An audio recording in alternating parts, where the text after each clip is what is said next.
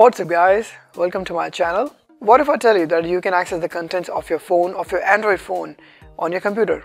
So in this video we are going to discuss how you can access the contents of your phone like photos, your messages and even like a reply to messages and notifications of your phone on your Windows computer. So I'll be discussing how to uh, install the, the applications, uh, how to set up the applications and, uh, and all the process behind it.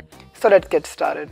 To get started with this video, there are like two requirements that, that you have to make sure that you have. The first one is either you have a, like um, the most recent uh, Samsung phone like Note 10, Note 10 Plus, S10, S10 Plus, or you have uh, any other Android phone, but the, the Android version you have is actually Android 7.0 or higher. For example, I do have Android version 9. And the second requirement is actually to have a have a Windows computer that has the Windows 2018 October update or later since I have a Samsung S10 Plus phone, uh, there's a feature in, the in the phone itself. Uh, when you drop down your notification panel, you can see there's a button called Link to Windows. It should be right. Uh, it should be present in your notification panel, and uh, you need to click on that, and it will open up a window saying that uh, sign into your Microsoft account. And in case uh, you have like older phones, in that case, what you need to do, you need to actually install an application from your Play Store and uh, the application is called your phone companion. If I can type that right. Your phone companion. Link to Windows. And as you can see I do have by default installed in my phone. Uh, I did not install it manually. Uh, this came with my Samsung update. But in case uh, you know you have like older or any other version of Android phone then you need to install this uh, application from Play Store. So go ahead and install this application. And once you're done uh, let's go back and uh, click on this uh, button again, link to Windows, and we need to sign in with your Microsoft account. So click on this button called sign in with Microsoft. So I'm gonna go ahead and uh, type in my uh, Microsoft email address that I used to sign in uh, sign in in, in my Windows computer. once you're done, you need to actually approve some permissions so that your phone can actually access the content or this app actually can access the permissions. So go ahead and click continue. So we so I'm gonna switch to my computer now. But before that, uh, let me show you how you can find out the email address that you use to actually sign into your computer or Microsoft account. Go to your start menu and just uh, type account and uh, click on this uh, button called manage your account. And uh, there you will see that you know uh, your email address is listed there. So that's your email address that you have used to sign into your Microsoft or this Windows computer. So this is your email address that you need to sign into your, your phone companion app on your phone. Once you have done that, so just click on the start menu again and start typing your phone. As you can see, there is the first app, uh, it's right there on your Windows computer.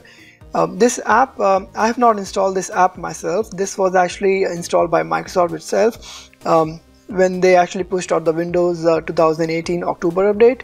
So that's what, and this is what our second requirement was. Uh, if you didn't have this, um, there's a workaround, and instead you can actually download the app manually. So, for example, go to Microsoft Store.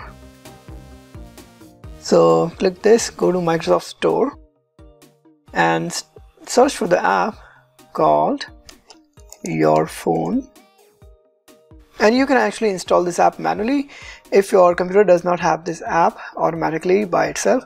So uh, just click on this get button and the app will be installed on your computer. So I do have it installed on my computer so I'm just gonna launch the app. And as you can see it, it automatically links your phone because you have already um, started working on your phone right? And it says uh, you need to connect your phone to the to the app on your computer. So what you need to do you actually need to approve some permissions on your phone. So let's do that. You will see this message on your phone and click allow to actually proceed. You can allow you can deny, deny that's fine. So as you can see it says connected to your PC so as you can see um, I have uh, like connected my Microsoft account and it says connected to Rajat. That is my um, computer's name. And and using this button you can actually disconnect like if you want. Uh, maybe you are outside and don't want uh, like someone at home to actually view the contents of your phone on your computer you can click, the, click this button to uh, disconnect the phone to your computer.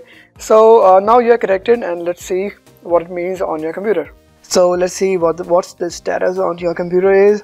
So once I click the see text button you can see these are all my text right on my computer and uh, I can just I can read all the transactions all the messages that I got on my phone. Let's check out the photos tab. And as, as you can see the photos are right there. So these are actually the tw last 25 photos because this app actually is capable of uh, showing you last 25 photos from your phone on your computer. So you can right click on the photo and also save as and uh, save it on your computer. So let's uh, save it and as you can see it's a HEIC codec which uh, was shot by my phone. So this is actually a very quick way of uh, transferring your photos to your computer. And uh, just as a reminder using this app on your computer you can actually you can only view the photos and, and the text messages. You cannot delete the photos because it's, it's like a copy of your phone on your computer you cannot delete the photos. And similarly uh, you cannot delete the text messages even by right click or something. However you can actually in indulge in a conversation. And there's another tab called notifications so let's get started. Click on that. And using this we can actually uh, get like uh, live notifications uh, from my phone on my uh, computer right there. So let's set it up. So we need to click on this button and also allow the access which I'm gonna do on my phone. Click on the allow button and all the notifications will now uh, come on my uh, computer. And as you saw just got a like text message right there on my notifications tab. And you can actually respond to the text message by you know just um, typing whatever. So I'm gonna respond to the message. So as you can see uh, the phone and the and, and, the computer are both in sync. So this app is actually uh, really helpful uh, for, for example uh, you, you forgot your phone uh, somewhere maybe at home and you know you need to access the contents maybe to reply to text messages at work. Or maybe you are at work and you know you don't have um, the access to your phone uh, but you can install this app on your on your computer. This app also shows you the, the battery remaining on your phone.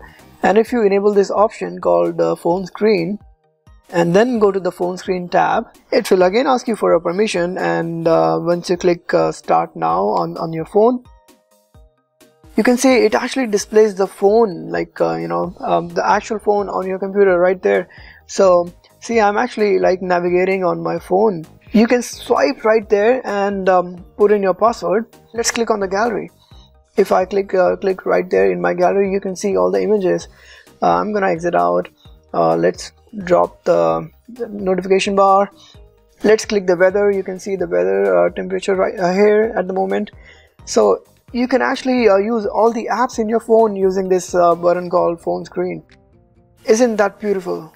You have access to entire phone on your computer. So imagine like you forgot your phone at home you are at work. You don't need to go back and get your phone. Your phone is right there on your computer. And this is pretty much it from this video i hope you liked this video and it was useful for you. And if it was hit the like button and subscribe to my channel. Alright guys i'll see you in the next video